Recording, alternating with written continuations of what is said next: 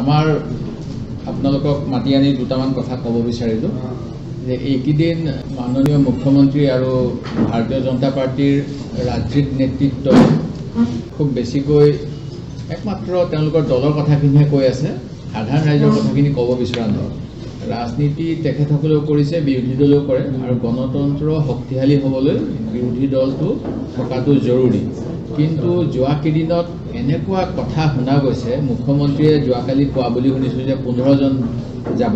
মই কওঁ যে তেখেতে কওক এশ ছাব্বিছজনেই যাব। স্পীকাৰটো হয়েই তেখেতসকলৰ ডেপুটি স্পীকাৰ হয়েই আৰু বাকী সকলো যাব বুলি ক'লেও মই ভাল পাম। কিন্তু এনেকুৱা কথা এজন মুখ্যমন্ত্ৰীয়ে যিজনে সংবিধানৰ গোপনীয়তাৰ আৰু সংবিধান অনুসৰি কাম কৰাৰ শপত লয় তাৰপিছত এনেকুৱা অতি টুলুঙা তৰল মন্তব্য দিয়া মুখ্যমন্ত্ৰী অসমৰ বাবে দুৰ্ভাগ্য যে স্বাধীনতাৰ পঁয়সত্তৰ বছৰ বয়স হওঁতে আমি যেনেকৈ দেশৰ স্বাধীনতা সেনানীসকলৰ কথা স্মৰণ কৰিব লাগে আমাৰ পূৰ্বসূৰী বা আমাৰ পূৰ্বৰ ৰাজনীতিকসকলৰ কথা স্মৰণ কৰি আমি গণতন্ত্ৰ কেনেকৈ জীয়াই ৰাখিব পাৰোঁ সেই কথা চিন্তা কৰিব লাগে আৰু এই মুখ্যমন্ত্ৰীজনে এটা ফেচিবাদী হিটলাৰী ব্যৱস্থাৰ কথা দিনে ৰাতিয়ে কৈ থাকে। মই এইকাৰণেই ক'ব লগা হৈছে মই শিৱসাগৰ জিলাৰ পৰা আহিছোঁ। শিৱসাগৰ জিলাৰ নৱনিৰ্বাচিত বিধায়ক এজনে কৈ থকা বুলি শুনিছোঁ যে শিৱসাগৰত অন্য দল নাথাকিব। কিন্তু তেখেতে ৰাজনীতি কিছু চিন্তা কৰা উচিত যে এটা সময়ত আৰ চি পি আই দলৰ খগেন বৰবৰুৱা আৰু কংগ্ৰেছ দলৰ বিমলা চলিহা। তেখেতসকল দুয়োজনে একেখন মঞ্চৰ পৰাই নিজৰ নিজৰ নীতি আদৰ্শৰ কথা কৈ ৰাইজৰ পৰা ভোট বিচাৰিছিল। আমি স্বাধীনতা পঁয়সত্তৰ বছৰ হোৱাৰ পিছত গণতন্ত্ৰ শক্তিশালী কৰিবলৈ তেনে নেতাসকলৰ আদৰ্শ ল'ব লাগে নে হিটলাৰ মুছলিনী নিচিনা মানৱ সমাজক কলুষিত কৰা জাতিৰ কলংকবিলাকৰ আদৰ্শ লৈ ভাৰতবৰ্ষত ৰাজনীতি আগুৱাই নিব লাগে? আৰু এই কালচাৰটো নতুন নহয়। ঊনৈছশ তেইছ চনত কংগ্ৰেছ সেৱা দল গঠন হৈছিল।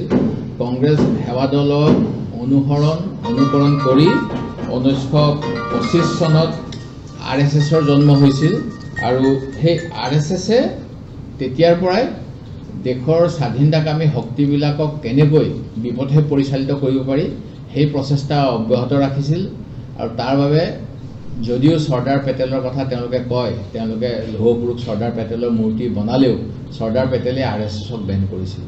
সেই গতিকে এই কথাবিলাক আমি পাহৰিব নালাগে। আমাৰ প্ৰকৃত কথা হ'ল যে আমাৰ ৰাজ্যৰ জনগণক বৰ্তমান সময়ত আমি কেনেকৈ বিভিন্ন পৰিস্থিতিৰ বাবে তেখেতসকলৰ যি দুৰ্দশাগ্ৰস্ত অৱস্থা তাৰ পৰা কেনেকৈ উদ্ধাৰ কৰিব পাৰোঁ? কেন্দ্ৰ চৰকাৰে অসমক কেনেকৈ সকাহ দিব পাৰে?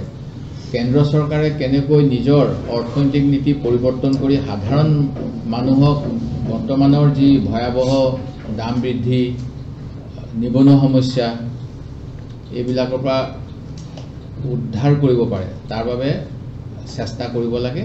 কিন্তু সেইখিনি নকৰি একমাত্ৰ কেনেকৈ ওৱান নেশ্যন ওৱান পাৰ্টি কিবা ওৱান ৰিলিজিয়ন এনেকুৱা ধৰণৰ কথাবিলাক মানে ফেচিষ্ট আনডেমক্ৰেটিক কথাবিলাক প্ৰসাৰ কৰিবলৈ বিচাৰিছে। আৰু ইয়াৰ বিৰুদ্ধে অসমৰ ৰাইজে স্বাধীনতাৰ পূৰ্বৰ পৰাই মাত মাতিছিল।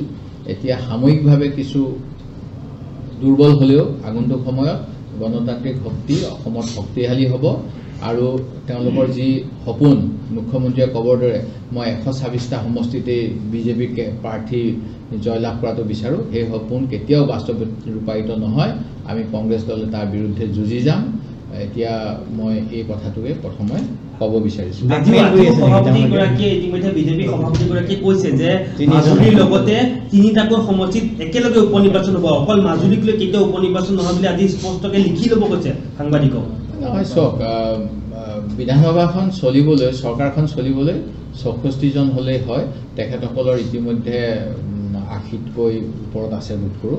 সেই গতিকে তেওঁলোকে ইমান চিন্তা কৰিব নালাগে। কিন্তু মই ক'বৰ দৰে আমাৰ ৰাজ্যক তেওঁলোকে দুহেজাৰ ষোল্ল চনত তেওঁলোকে দহ বছৰৰ কাৰণে ভিজন ডকুমেণ্ট দিছিল। ভিজন ডকুমেণ্টখনৰ লগে লগে নতুন চৰকাৰ অহাৰ লগে লগে এখন কেলেণ্ডাৰ ছপাইছিল কেলেণ্ডাৰত তেওঁলোকে যেনেকৈ সৰ্বানন্দ সোণোৱাল ডাঙৰীয়াক আগত দি সুশাসন প্ৰদূষণমুক্ত শাসন দুৰ্নীতিমুক্ত প্ৰশাসন নিবনুৱা সমস্যা প্ৰদূষণ এইবিলাক নাইকিয়া কৰিম বুলি যি প্ৰতিশ্ৰুতি দিছিল। আৰু তেওঁলোকে কৈছিল যে এইখন হ'ল তেওঁলোকৰ নিৰ্বাচনী প্ৰতিশ্ৰুতি নহয় অসমৰ বাবে ভিজন ডকুমেণ্ট সেই ভিজন ডকুমেণ্ট অনুসৰি তেওঁলোকে কাম কৰাটোহে মই বিচাৰোঁ আৰু তাৰ বাবে আমি সকলোৱে তেওঁলোকক সহায় কৰিম। কিন্তু অতি দুৰ্ভাগ্যজনক কথা যে যোৱা দুদিন আগত শিৱসাগৰলৈ গৈ তেখেতে নিজৰ মানে বিফলতাৰ গান গাইছেগৈ। তাত কৈছে যে আমাৰ সৰ্বভাৰতীয় পৰীক্ষাত অসমৰ ছাত্ৰ ছাত্ৰীসকল কিয় আগবাঢ়িব পৰা নাই? আজি অসমৰ শিক্ষা ব্যৱস্থাটো ধ্বংস কৰাৰ ক্ষেত্ৰত ডক্টৰ হিমন্ত বিশ্ব শৰ্মা ডাঙৰীয়াই বহু লাংখে জগৰীয়া। কাৰণ তেখেতে জানে যে বিভিন্ন চৰকাৰী বিদ্যালয়সমূহ যদি ভাল হয় তেতিয়াহ'লে ব্যক্তিগত খণ্ডক সহায় কৰিব পৰা নাযাব। আৰু সেই গতিকে তেওঁ যোৱা সময়ছোৱাত এই আমাৰ চৰকাৰী শিক্ষা ব্যৱস্থাটো ধ্বংস কৰিছে। আজি যিখিনি কথা সুধিছে প্ৰকৃততে শিক্ষামন্ত্ৰী হিচাপে তাৰ জবাবটো তেখেতৰ মুখৰ পৰাই আহিব লাগিছিল। কাৰণ তেখেতে ক'ৰবাত কৈ দিছে যে মই বিছ বছৰ ধৰি অসমৰ মুখ্যমন্ত্ৰী হৈ আছোঁ। মুখ্যমন্ত্ৰী হৈ নাথাকিলেও তেখেতে অসমৰ পোন্ধৰ বছৰ কংগ্ৰেছ চৰকাৰৰ দিনত আৰু বৰ্তমানে পাঁচ বছৰ বিছ বছৰতকৈ অধিক কাল অসমৰ গুৰুত্বপূৰ্ণ বিভাগৰ মন্ত্ৰী হৈ আছে। আৰু আমাৰ যি শাসন ব্যৱস্থা তাত অকল এজন মন্ত্ৰীৰ ওপৰত দায় দিয়া নাযায় এইটো হ'ল কালেক্টিভ ৰেচপনচিবিলিটি সেই গতিকে কংগ্ৰেছৰ দিনৰ ভাল কামখিনিৰো তেখেতক মই কিছু কৃতিত্ব দিম বেয়া কামৰো কৃতিত্ব তেখেতে ল'ব লাগিব। যেনেকৈ সৰ্বানন্দ সোণোৱালৰ দিনত গৰুৰ ষাঠি হাজাৰ কোটি টকাৰ চোৰাং বেহা চলিছিল। ড্ৰাগছৰ বহুত কোটি টকা ব্যৱসায় চলিছিল বুলি তেখেতে কৈ সৰ্বানন্দ সোণোৱালক ৰাজনৈতিকভাৱে ধ্বংস কৰিব বিচাৰিছে। তাৰ বাবে কিন্তু কেবিনেটৰ দুই নম্বৰ মন্ত্ৰী হিচাপে তেখেতো সমানেই জগৰীয়া। আৰু তেখেতে নিজকে ধোৱা তুলসীৰ পাত সজাবলৈ এইবিলাকৰ বিৰুদ্ধে অভিযান চলোৱা বুলি ক'লেও প্ৰকৃততে যে আগন্তুক সময়ত এটা আৰু ডাঙৰ চিণ্ডিকেট ভয়াৱহ ৰূপলৈ নল'ব তাৰ বাবে কোনো নিশ্চয়তা এতিয়াও নাই। মই স্মাৰ্ট পুলিচৰ কথা কৈছিল। প্ৰধানমন্ত্ৰীক তেওঁলোকে আনিছিল এডমিনিষ্ট্ৰেটিভ ষ্টাফ কলেজলৈ তেওঁলোকৰ পোন্ধৰ ষোল্ল বছৰতে। কিন্তু এই পুলিচে এতিয়াও যি গুৱাহাটীৰ ভিভান্তা হোটেলৰ এটা নৈশ পাৰ্টিৰ পৰৱৰ্তী সময়ত আঠজন শ্ৰমিক আঘাতপ্ৰাপ্ত হৈছিল। ক'ভিডৰ আইন ভায়লেশ্যন হৈছিল। ডিজাষ্টাৰ মেনেজমেণ্ট এক্ট ভায়লেশ্যন হৈছিল। আৰু যি আমাৰ নাইট কাৰফিউ চলি আছিল সেই কাৰফিউ ভাইলেট হৈছিল। তাৰ মূল পৃষ্ঠপোষক যিজন পাৰ্টীৰ আয়োজক তেখেতৰ বিৰুদ্ধে কোনো ব্যৱস্থা লোৱা নাই। য'ত আয়োজনথলী আয়োজনথলীৰ বিৰুদ্ধে কোনো ব্যৱস্থা লোৱা নাই। এইটো এইকাৰণেই নেকি যে এনেকুৱা কৰিলে কোনো কোনো বৰমূৰীয়াৰো বা শাসক পক্ষৰ কোনো লোক সলধিকত পৰিব। সেই গতিকে মই পুলিচৰ যিটো আহ্বান মই শুনিয়ে থাকোঁ যেতিয়াই তেতিয়াই যে মানে প্ৰদূষণমুক্ত সুশাসন এইবিলাক কথা এইবিলাক প্ৰকৃত বাস্তৱত কৰক। যোৱাকালিও দুৰ্ভাগ্যজনক কথা বৰুৱা দম্পতীৰ হত্যাৰ পিছত যিজনক অভিযুক্ত কৰা হৈছে তেওঁ কৈছে মই পুলিচৰ মাৰৰ ভয়ত এনেকুৱা কথা ক'লোঁ। ঠিক তেনেকৈ আমাৰ আমি দুহেজাৰ বিছ চনৰ পৰাই কৈ আছিলোঁ যে ত্ৰিপাক্ষিক আলোচনা লাগে অসমৰ সীমা সুৰক্ষিত কৰিবলৈ কিন্তু মুখ্যমন্ত্ৰী মহোদয় সেই সময়ৰ মুখ্যমন্ত্ৰী বৰ্তমানৰ মুখ্যমন্ত্ৰী ইয়াত কোনো গুৰুত্ব দিয়া নাছিল। নেডাৰ আহ্বায়ক হিচাপে বৰ্তমানৰ মুখ্যমন্ত্ৰীক আমি কৈছিলোঁ যে আপোনালোকে ত্ৰিপাক্ষিক বৈঠক কৰক। যিহেতু আপোনালোকে ক'বৰ দৰে ডাবল ইঞ্জিন ট্ৰিপল ইঞ্জিনৰ চৰকাৰ আপোনালোকৰে উত্তৰ পূৰ্বাঞ্চলৰ সকলো চৰকাৰ বিজেপিৰ দিল্লীতো আপোনালোকৰ চৰকাৰ। কিন্তু তেওঁলোকে সেই কথা নুশুনাৰ বাবেই আজিৰ তাৰিখতো আমাৰ সীমান্তত আগ্ৰাসন চলি আছে। মিজোৰামৰ দ্বাৰা দুখন জিলা কাছাৰ আৰু হাইলাকান্দিত। আজিও তিনি চাৰি কিলোমিটাৰ ভিতৰত তেওঁলোকে ৰাস্তা নিৰ্মাণ কৰি আছে। অনুৰূপ ধৰণৰ ঘটনা চলি আছে নাগালেণ্ড সীমান্তত মোৰ গৃহ জিলা শিৱসাগৰ জিলা। আহ, যোৰহাট জিলা সেই গতিকে চৰকাৰে যেনেধৰণেৰে নিজৰ যিখিনি সুশাসন দিয়াৰ বাবে অসমৰ ৰাইজক আশ্বস্ত কৰিবৰ বাবে যিটো ভোট দিছিল তাৰ পৰা তেওঁলোক আঁতৰি আহিছে। তেওঁলোকে ইয়াৰ শেহতীয়া সৰ্বানন্দ সোণোৱালৰ শেহতীয়া বাজেটখনতে বোধ কৰোঁ কৈছিল যে পাঁচশ কোটি টকা আমি দিছোঁ মাইক্ৰ' ফাইনেন্স ইনষ্টিটিউটবিলাকক আৰু তেওঁলোকে নিৰ্বাচনৰ সময়ত প্ৰতিশ্ৰুতি দিছিল যে সকলোকে বন্ধন বেংক জাতীয় বেংকৰ ঋণৰ পৰা ঋণমুক্ত কৰিম। কিন্তু সেই ক্ষেত্ৰত এতিয়াও সুস্পষ্ট নীতি নাই। বৰঞ্চ সেই কোম্পানীবিলাককহে আৰু ব্যৱসায় কৰিবলৈ ইনচেণ্টিভ দিয়াৰ নিচিনা যে যিবিলাকে ৰেগুলাৰ পইচা দি আছে তেওঁলোকক বোলে পঁচিছ হাজাৰ টকাকৈ এই নৱেম্বৰ মাহৰ বিছ তাৰিখৰ পৰা চেক দিবলৈ আৰম্ভ কৰিব।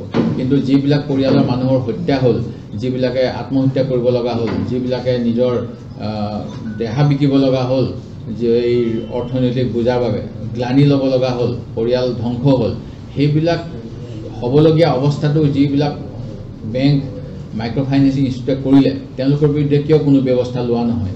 তেওঁলোকে অসম চৰকাৰখনে অসমৰ ৰাইজৰ বাবে কাম কৰিব বিচাৰে নে এনেকুৱা ধৰণৰ পুঁজিপুতিবিলাকে যি হাতোৰা মেলি দিছে?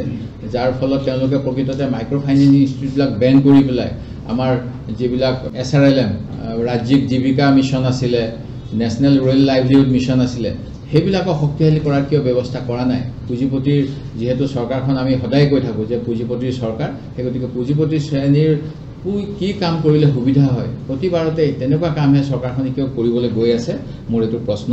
আজি যিটো আমাৰ ছয় জনগোষ্ঠীৰ জনজাতিকৰণৰ কথা ছমাহৰ ভিতৰত হ'ব বুলি দুহেজাৰ চৈধ্য চনত কোৱা হৈছিল সেই ক্ষেত্ৰত কিছুমানক যি ডেভেলপমেণ্ট কাউন্সিল দিয়া হ'ল টাই আহোমসকলকো দিয়া হোৱা নাই। আৰু এইটো এতিয়াৰ দাবী নহয় স্বাধীনতাৰ পূৰ্বৰে দাবী। সেই গতিকে মই টাই আহোম আৰু অন্যসকলকো যেতিয়ালৈকে জনজাতি পৰ্যায়লৈ উন্নীত নকৰে তেওঁলোকৰ নিৰ্বাচনী প্ৰতিশ্ৰুতি অনুসৰি অট'নমাছ কাউন্সিল দিবলৈ দাবী জনাইছোঁ। ঠিক অনুৰূপ ধৰণে ছয় নং দফাক লৈ আপোনালোকে জানে যে অমিত শ্বাহ ডাঙৰীয়াই দিল্লীত কৈছিল যে ৰাজীৱ গান্ধীয়ে সাহস নকৰিলে অসম চুক্তি ৰূপায়ণ কৰিবলৈ আমি কৰিম। কিন্তু এই চুক্তিৰ ছয় নং দফাটো গুৰুত্বপূৰ্ণ আছিলে য'ত কোৱা হৈছিল অসমীয়াসকলৰ সকলো ধৰণৰ সুৰক্ষা দিয়া হ'ব অৰ্থনৈতিক সামাজিক ৰাজনৈতিক ন্যায়িক সুবিধা সেইখিনি ক্ষেত্ৰত আজিলৈকে মৌন হৈ আছে। বৰঞ্চ তাৰ পৰিৱৰ্তে তেখেতসকলে লং টাৰ্ম ভিছা অন্যান্য কৰি পেলাই বিদেশীসকলক ভাৰতত অসমত সংস্থাপন দিব বিচাৰিছে। আমি অসম চুক্তি অনুসৰি অসমত কেন্দ্ৰ চৰকাৰৰ আইন বলবৎ হোৱাটো বিচাৰোঁ কাৰণ কেন্দ্ৰই অসম চুক্তিখন কৰোঁতে কেন্দ্ৰীয় গৃহ দপ্তৰে আছিল। সেই গতিকে নিশ্চিতভাৱে অসমত ৰূপায়ণ কৰিব নোৱাৰা এখন আইন সেই সময়ৰ কেন্দ্ৰ চৰকাৰে কৰা নাছিল। তাৰ বাবে এতিয়া চৰকাৰে যি আইনী সংশোধনী কৰিব লাগে লোকসভা ৰাজ্যসভাত এই বিজেপি চৰকাৰে কৰিব লাগে তাৰ বাবে মই দাবী জনাইছোঁ। যি দুৰ্নীতিমুক্ত প্ৰশাসনৰ কথা মই কৈ আছোঁ এই ক্ষেত্ৰত মই দুৰ্নীতিৰ লগত যেন কম্প্ৰমাইজ কৰে তেওঁলোকৰ কাৰোবাৰ নাম আহিলেই সেই কথাটোৱে ক'ব বিচাৰোঁ। ৰাকেশ পালৰ জেলত থকা পাঁচ বছৰ হ'ল বুলি কৈছে কিন্তু যিখিনি হ'ব লগা আছিল কাৰোবাৰ কাৰোবাৰ নাম তেওঁৰ ড্ৰয়িং ৰুমত ওলোৱাৰ পিছত যেন তদন্ত স্থিমিত হৈ গ'ল এই কথাটো ওলাই থাকে। সেই গতিকে মই অনুৰূপ ধৰণেৰে যিটো পুলিচৰ এছ আই কেলেংকাৰী সেই ক্ষেত্ৰত কেৰালা ইলেক্ট্ৰনিক কৰ্পৰেশ্যনে তাৰ মূল মানে পৰীক্ষাকৰ্তা আছিলে। তাৰ লগত আৰু তিনিজন ব্যক্তিৰ নাম আছিলে। দুজনক পুলিচে গ্ৰেপ্তাৰ কৰাৰ পিছত তিনি নম্বৰ বৰুৱা পাৰ্টীজনক আজিলৈকে জেৰাও কৰা নাই। সেই গতিকে ইয়াতো যেন তেওঁলোকে কিবা এটা লুকুৱাই দিব বিচাৰিছে তথ্য।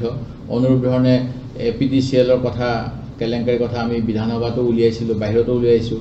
ঠিক তেনেকৈ ইৰিগেশ্যন বিভাগৰ জলসিঞ্চন বিভাগৰ কিছু কেলেংকাৰী কথা আছিলে। এতিয়া শেহতীয়াকৈ টেট পৰীক্ষাৰ স্পেচিয়েল টেট আৰু অন্যান্য কেলেংকাৰী কথা ওলাই আছে। সেই গতিকে যোৱা সময়ছোৱাত তেওঁলোকে যদি ইচ্ছা কৰে তৰুণ গগৈ ছাৰৰ দিনৰখিনিৰো তদন্ত কৰিব পাৰে আৰু লগতে মই বৰ্তমান চৰকাৰে বিজেপি চৰকাৰৰ শাসনৰ সময়ত বিভিন্ন বিভাগত হোৱা নিয়োগৰো য'ত য'ত দুৰ্নীতিৰ অভিযোগ আহিছে ধনৰ বিনিময়ত চাকৰিৰ কথা আহিছে সেই সকলোবিলাকৰ উচ্চ পৰ্যায়ৰ তদন্ত দাবী কৰিছোঁ। ঠিক তেনেকৈ যোৱা সময়ছোৱাত বাজেটত বহুত কথা ঘোষণা কৰা হয় কিন্তু এই বাজেটৰ যিবিলাক ঘোষণা সেই ঘোষণাবিলাক মাত্ৰ ঘোষণাই হৈ আছে এইটো দুৰ্ভাগ্যজনক কথা। সোতৰ ওঠৰ চনৰ বাজেট বক্তৃতাত ডেৰশ কোটি টকা দি মূল্য স্থিৰকৰণ পুঁজি এটাৰ কথা কোৱা হৈছিল। এই মূল্য স্থিৰীকৰণ পুঁজি যেতিয়া কোৱা হৈছিল তেতিয়া খুব সম্ভৱ মন্ত্ৰী আছিল ৰিহন দৈমাৰী ডাঙৰীয়া খাদ্যমন্ত্ৰী তাৰ পৰৱৰ্তী সময়ত অসম গণ পৰিষদৰ প্ৰতিনিধি ফণীভূষণ চৌধুৰী ডাঙৰীয়া মন্ত্ৰী হ'ল। এতিয়া বিজেপিৰ প্ৰাক্তন সভাপতি ৰঞ্জিত দাস ডাঙৰীয়া যিজনে অকল নিমখৰ মূল্যহে নিয়ন্ত্ৰণ কৰিব পাৰোঁ বুলি এটা সত্য কথা কৈছিল। কিন্তু এই মূল্য স্থিৰীকৰণ পুঁজিৰে ক'ত কি কিনা হ'ল কেনেকৈ আমাৰ ৰাইজক সকাহ দিয়া হ'ল আজিলৈকে এই কথা চৰকাৰে ফাদিল কৰা নাই। সেই গতিকে মই তেখেতসকলে দুহেজাৰ সোতৰ ওঠৰ চনৰ পিছত অসমৰ জনগণক দাম বৃদ্ধিৰ পৰা সকাহ দিবলৈ কেনেকৈ মূল্য স্থিৰীকৰণ পুঁজি ব্যৱহাৰ কৰা হ'ল তাৰ কথা এখন শ্বেতপত্ৰ যোগে প্ৰকাশ কৰিবলৈ বৰ্তমানৰ অসমৰ খাদ্য ফুড কৰ্পৰেশ্যন যিটো ফুড ছাপ্লাই কৰ্পৰেশ্যন খুলিলে তাক এই পুঁজিটো দিয়া হ'ব বুলি কৈছিল। তাৰ চেয়াৰমেন বৰ্তমান প্ৰাক্তন সাংসদ ৰমেন ডেকা ডাঙৰীয়া। তেখেতক এখন শ্বেতপত্ৰ প্ৰকাশ কৰি ৰাইজক অৱগত কৰিবলৈ আহ্বান জনাইছোঁ।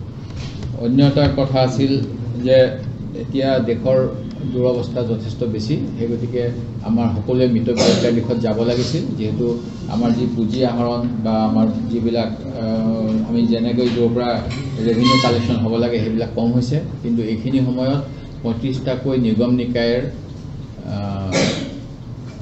সভাপতি অধ্যক্ষ পদত বিজেপি দলৰ বিভিন্ন নেতাক নিয়োগ কৰা হৈছে একমাত্ৰ ৰাজনৈতিক স্বাৰ্থত। তেওঁলোকে অসমৰ কোনো উন্নয়ন কৰিব নোৱাৰে বৰঞ্চ অসমৰ ৰাজকোষৰ ওপৰত তেওঁলোকে একো একোটা বোজা হৈ পৰিব। সেই গতিকে তেখেতসকলে যেন এই পদ গ্ৰহণ নকৰে অসমৰ স্বাৰ্থত। তেখেতসকলে জাতি মাটি ভেটিৰ কথা কৈ থাকে। আমাৰ ইতিমধ্যে যোৱা সময়ছোৱাত ন হাজাৰ কোটি টকাতকৈ অধিক ঋণ যোৱা চাৰি মাহত এই চৰকাৰখনে লৈছে আৰু অধিক ঋণৰ বোজা তেওঁলোকে যাতে অসমৰ ৰাইজৰ ওপৰত নেপেলায় তাৰ বাবে মই তেওঁলোকক হাতযোৰ কৰি অনুৰোধ জনাইছোঁ। তেখেতসকলে যেন এই কোনো আনপ্ৰডাক্টিভ কোনো তেওঁলোকৰ কোনো উপাৰ্জন নাই। আমি তেখেতসকলে অনুগ্ৰহ কৰি অসম বিধানসভাৰ এটা নিয়ম আছে নিয়ম অনুসৰি প্ৰতিটো কৰ্পৰেশ্যনৰ ফাইনেন্সিয়েল ৰিপৰ্ট এনুৱেল ৰিপৰ্ট দিয়া হয়। সেইখিনি পঢ়ি লৈহে যেন তেখেতসকলে এই কৰ্পৰেশ্যনবিলাকৰ হাত ভৰি তেওঁলোকৰ দিশত আগুৱাই সেইটো মই অনুৰোধ কৰিছোঁ। নহ'লে ভৱিষ্যতৰ সমাজে তেওঁলোকক ক্ষমা নকৰিব। তেখেতসকলৰ যিকণ ইমেজ ভালে হৈ আছে সেইখিনি ভাল হৈ থাকক। ৰঙা লাইটৰ মুহত যাতে তেওঁলোকে এক্সপৰ্ট পাইলট মিনিষ্টাৰ ষ্টেটাছ এইবিলাক ক্ষণস্থায়ী এইবিলাকৰ লোভত তেখেতসকলে যিটো ট্ৰেপত তেওঁলোকক হিন্দিবলৈ ৰাজনীতিয়ে পেলাব বিচাৰিছে তাত যাতে নপৰে অসমবাসী হিচাপে মই তেওঁক লোকক আহ্বান জনাইছোঁ। আমাৰ মুখ্যমন্ত্ৰী মহোদয়ে প্ৰতিশ্ৰুতি বহুত দিয়ে বাজেটত মই ক'লোৱেই নিবনুৱা সমস্যা দূৰ কৰিবলৈ প্ৰথম বাজেটতে কৈছিলে তেখেতসকলে এশটা বি পি অ' কৰিব বিজনেছ প্ৰচেছ আউটচৰ্চিং নে কি বুলি কোৱা হয় আধুনিক ডিজিটেল ইণ্ডিয়াৰ কথা এইবিলাক। সেই গতিকে এই বি পি অ'কেইটা ক'ত কেনেকৈ হ'ল সোতৰ ওঠৰ চনৰে প্ৰতিশ্ৰুতি। কাৰণ তেখেতসকলে কৈছিলে যে আমাৰ ভিজন ডকুমেণ্ট দহ বছৰৰ কাৰণে এতিয়া পাঁচ বছৰতকৈ অধিক কাল হ'ল। কমচে কমতো ফিফটি পাৰ্চেণ্ট হ'ব লাগিছিলে মই ভাবোঁ বা থাৰ্টি পাৰ্চেণ্ট হ'লেও হ'ব লাগে। এতিয়া কোনকেইটা বি পি অ' কাম কৰি আছে ক'ত কৰি আছে অনুগ্ৰহ কৰি আমাৰ ইনফৰমেশ্যন এণ্ড টেকন'লজি ডিপাৰ্টমেণ্টৰ ফালৰ পৰা এইখিনি কৰাৰ কথা আছিলে তাৰ বাবে পুঁজি আমন্ত্ৰণ দিছিলে। এইখিনিও যেন আমাক জ্ঞাত মই এই ডিচেম্বৰ মাহত বাজেট আমাৰ এখন শীতকালীন অধিৱেশন হ'ব বুলি মোক জনাইছে। আজি বাতৰি কাকতত পঢ়িব পাইছোঁ। মই আহ্বান জনাওঁ যে তাৰ পূৰ্বে তেওঁলোকে যোৱা সময়ছোৱাত পাঁচ বছৰত কি কি কাম কৰিলে তাৰ এখন তথ্য জনসংযোগ বিভাগৰো পুঁজি আবণ্টন বৃদ্ধি হৈছে বুলি গম পাইছোঁ বাতৰিত বিজ্ঞাপন দিবলৈ। এইখিনি বিজ্ঞাপন আকাৰে যোৱা পাঁচ বছৰত তেওঁলোকৰ বাজেটৰ কি কি কৰিলে ভিজন ডকুমেণ্টৰ কি কি কৰিলে এইখিনি প্ৰকাশ কৰিবলৈ অনুৰোধ জনাইছোঁ। বৰ্তমান যি মূল্য সামগ্ৰীৰ দাম বৃদ্ধি হৈছে তাৰ ফলত মিড ডে মিলৰ যিটো ব্যৱস্থা দুপৰীয়াৰ আহাৰ সেই ক্ষেত্ৰতো যথেষ্ট অসুবিধা হৈছে। মাত্ৰ চাৰি টকা সাতান্নব্বৈ পইচাত এজন এজন ছাত্ৰ বা ছাত্ৰীক শাক চব্জি দাইল তেল আৰু সপ্তাহত দুটাকৈ কণী খুৱাব লাগে। দৈনিক চাৰি দশমিক ন সাত পইচাত এইটো যে বৰ্তমান সময়ত সম্ভৱ নহয় এই কথাটো মই ভাবোঁ অসমৰ মুখ্যমন্ত্ৰী মহোদয়ে অনুভৱ কৰিব। সেই গতিকে মিড ডে মিলৰ পুঁজি মই বঢ়াবলৈ অসমৰ শিক্ষা বিভাগক অনুৰোধ জনাইছোঁ। অন্য এটা গুৰুত্বপূৰ্ণ বিষয় আপোনালোকে জানে যে আমাৰ বহু লোক ভূমিহীন হৈ আছে আৰু উচ্ছেদ প্ৰক্ৰিয়াও চলি আছে। আৰু উচ্ছেদ কৰাটোক আমি কেতিয়াও বিৰোধিতা কৰা নাই। উচ্ছেদ হ'ব লাগিব যি যেনে যি প্ৰক্ৰিয়াৰে হ'ব লাগে সেই প্ৰক্ৰিয়া হ'ব লাগে।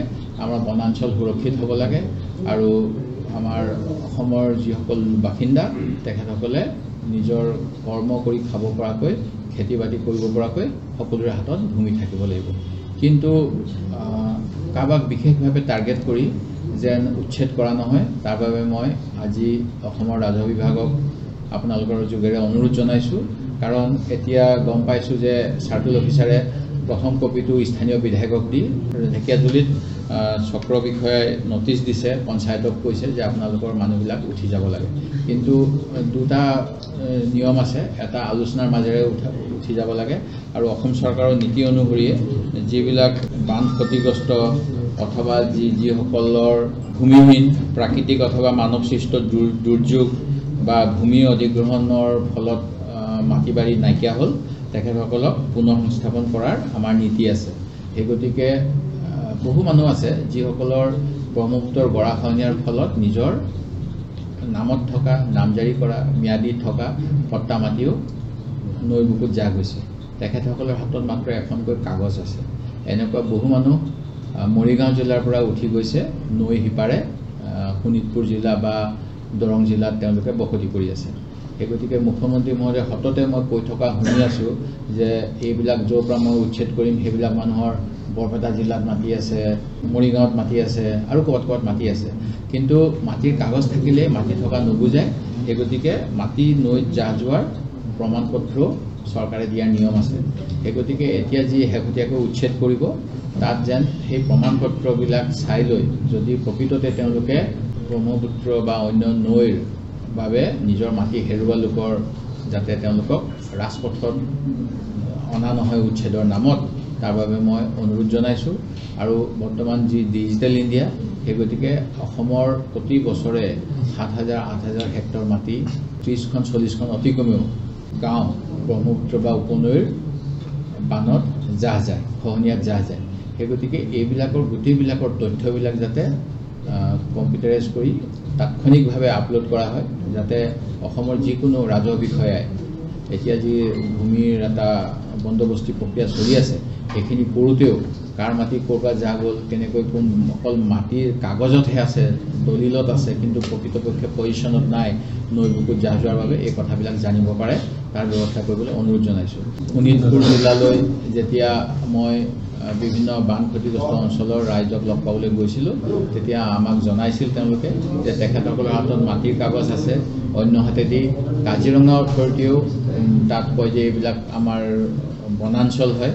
সেই গতিকে বহুত মানুহৰ মাটি বনাঞ্চলৰ ভিতৰত গৈ আছে আৰু বনাঞ্চল কৰ্তৃপক্ষই সেইবিলাক তেওঁলোকৰ মাটি বুলি দাবী কৰি আছে।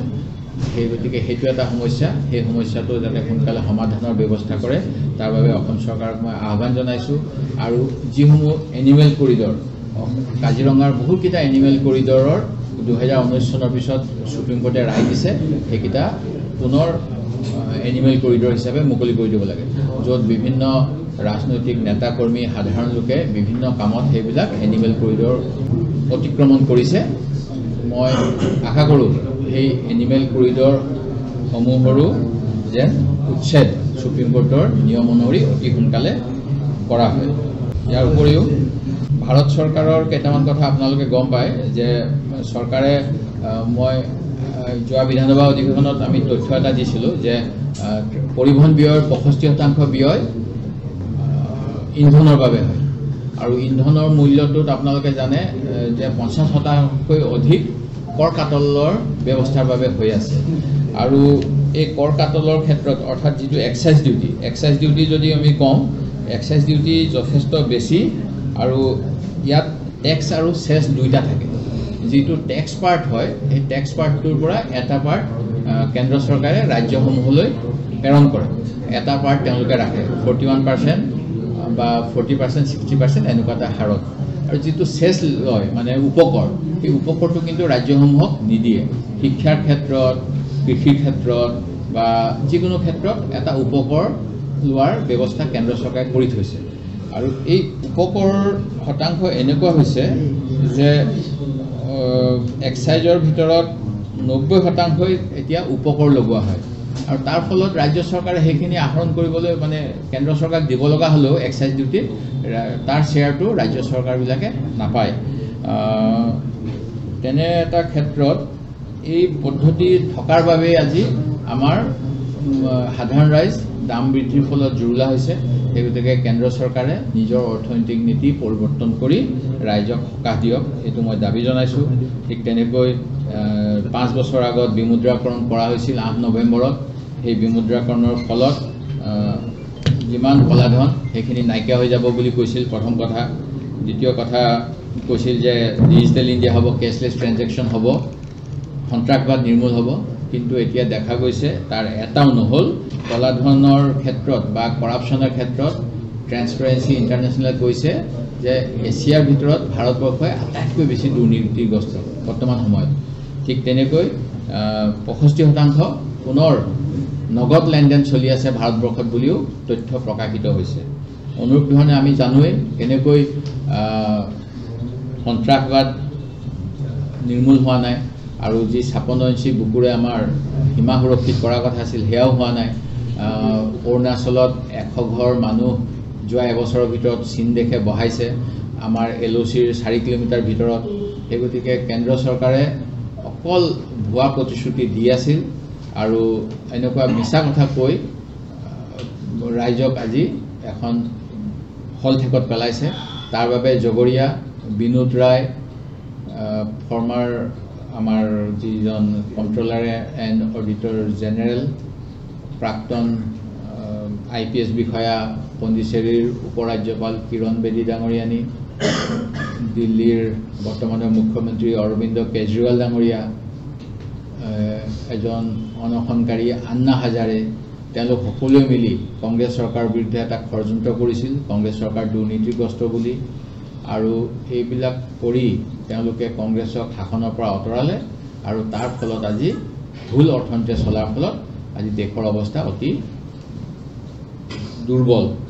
আৰু সেইবাবে তাৰ অন্যতম উদাহৰণ যে ৰাফেল কেলেংকাৰীৰ ক্ষেত্ৰত এতিয়া শেহতীয়া তথ্য ওলাইছে পঁয়ষষ্ঠি কোটি টকা উৎকোচ দিয়া হৈছিল বুলি দুহেজাৰ ওঠৰ চনতে ভাৰত চৰকাৰৰ তদন্তকাৰী সংস্থাসমূহে গম পাইছিল। তাৰ পিছতো কিন্তু এই কথা লুকুৱাই থ'লে। বন্ধ খামত কিবা ছুপ্ৰিম কোৰ্টত দিলে যাৰ ভিত্তিত ৰঞ্জন গগৈ ডাঙৰীয়া আৰু অন্যান্যসকলে সেই সময়ত ৰাফেল কেলেংকাৰীত কোনো দুৰ্নীতি নাই বুলি বোধ কৰোঁ জাজমেণ্ট দিলে। তাৰ পৰৱৰ্তী সময়ত বিভিন্ন লোকে বিভিন্ন মান সন্মানো পালে। সেই গতিকে এই গোটেইবিলাক হ'ল দুৰ্নীতিগ্ৰস্ত এটা প্ৰশাসন ৰাইজক কেতবোৰ ব্যক্তিয়ে বিভ্ৰান্তিমূলকভাৱে পৰিচালনা কৰিব কৰাৰ ফলশ্ৰুতি। ঠিক একেই কথা যে টেলিকমৰ টু জি স্পেক্ট্ৰাম এলটমেণ্টৰ সময়ত এক দশমিক সাত ছয় লাখ ওৱান এক লাখ চৌসত্তৰ হাজাৰ কোটি টকাৰ দুৰ্নীতি হ'ল বুলি বিনোদ ৰায়ে চি এ জি ৰিপৰ্টত দিলে আৰু যাৰ ফলত এটা আন্দোলন হ'ল কংগ্ৰেছ দুৰ্নীতি কৰিছে বুলি ডক্টৰ মনমোহন সিঙৰ নামত কালিমা অনা হ'ল।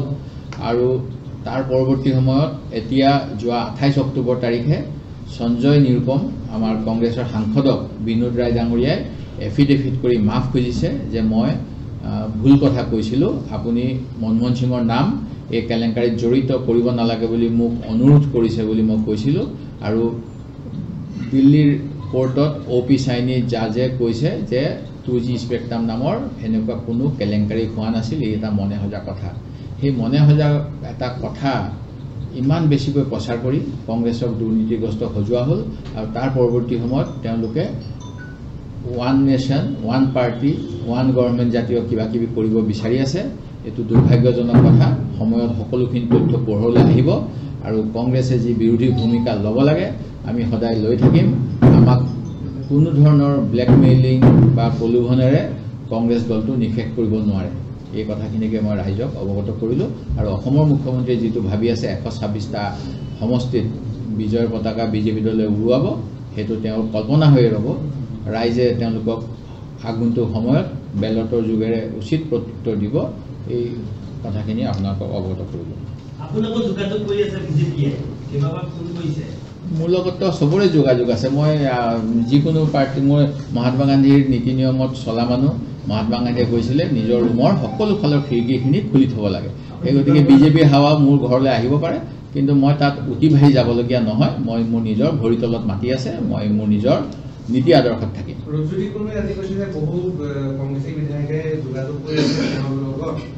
বন্ধুত্বৰ সুৰত ৰূপজ্যোতি কৰ্মীক ময়ো লগ পাইছোঁ দুদিন আগত। শুভেচ্ছা বাৰ্তা তেওঁক দিছোঁ জয়লাভ কৰাৰ বাবে। কাৰণ নিৰ্বাচনৰ এটা প্ৰক্ৰিয়া হয় আমাৰ। নিৰ্বাচনৰ সময়ত মই তেওঁৰ বিৰুদ্ধে প্ৰচাৰ কৰিছোঁ। তেওঁ নিজে কংগ্ৰেছৰ বিৰুদ্ধে প্ৰচাৰ কৰিছে জয়লাভ কৰিবলৈ। আমাৰ ব্যক্তিগত সম্পৰ্ক আৰু ৰাজনৈতিক সম্পৰ্ক আমি পাৰ্থক্যটো জানিব লাগে। মই সেইটোকে কৈছিলোঁ অলপ দেৰি আগত যে বিমলা প্ৰসাদ চলিহা আৰু আৰ চি পি আই নেতা খগেন বৰুৱাই বৰবৰাই একেখন মঞ্চৰ পৰাই ৰাজনৈতিক প্ৰচাৰো চলাইছিল। সেই গতিকে তেওঁলোকৰ সেই তেনেকুৱা ধৰণৰ আদৰ্শৰে আমি চলিব লাগিব। নীতি আদৰ্শত কিন্তু Bimala Chaliha R C P I হৈ যোৱা নাছিল। আৰ চি পি আই নেতা খগেন বৰবৰুৱাও কংগ্ৰেছ হৈ যোৱা নাছিল সেই সময়ত। কালি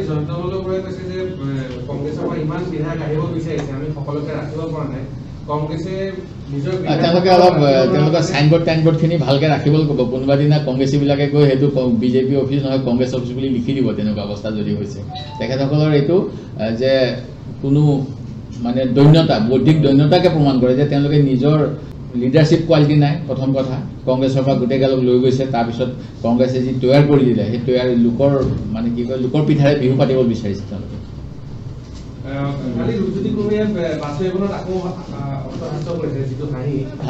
মই বেয়া বেয়া নাপাওঁ মই একো বেয়া পোৱা নাই। নাজানো মই আমাৰতো নৱৰস আছে। আমাৰ যদি আমি ভাৰতীয় সভ্যতাত চাওঁ হাঁহি কান্দোন হা এইবিলাক ব্যংগ এইবিলাক আমাৰ সংস্কৃতিৰ অংগ হয় মই একো বেয়া বুলি ক'ব নোৱাৰোঁ। এটা নৱৰসৰ এটা। নাই মই এইবিলাক কথা নকওঁ এতিয়া। যিখিনি কথা কোৱা উচিত নহয় সেইখিনি নকওঁ। মই যিখিনি ৰাজহুৱা হ'ব লাগে সেইখিনি ক'লোঁ। ব্যক্তিগতভাৱে সুধিলে ক'ব পাৰিম বহুত কিবা কিবি ক'ব পাৰিম।